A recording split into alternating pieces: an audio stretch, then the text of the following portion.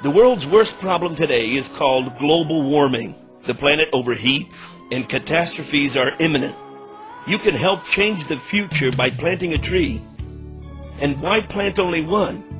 Why not go ahead and plant a whole forest? And why not transform all of this into money? It was dealing with this issue that the project Recreating the Curupira Forest was developed, focusing on the income of the small farmer and giving the Amazon rainforest back to the Amazon. And better yet, make a profit while doing all of this. Dream? No.